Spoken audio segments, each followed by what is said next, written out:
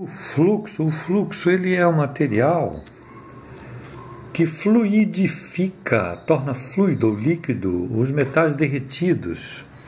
Ele é um aditivo que se coloca sempre. Aqui, isso aqui ainda não foi dissolvido. É, a, flu, a, a placa está começando o processo de limpeza.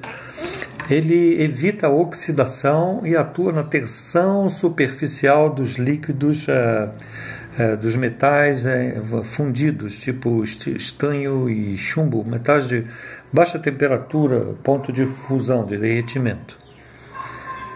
Então ele ajuda a, o derretimento, vamos chamar assim, e mexe na tensão superficial. O fluxo ele está contido dentro da solda. Existem canais, canalicos aqui dentro, canais microcanais, e nesses microcanais existe o fluxo.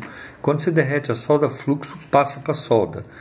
Ele precisa ser removido porque ele fica essa caca que você vê aqui, essa placa aqui. Vamos ver se você consegue. Está vendo esses brilhos, essa, essa nojeira? Está entendendo?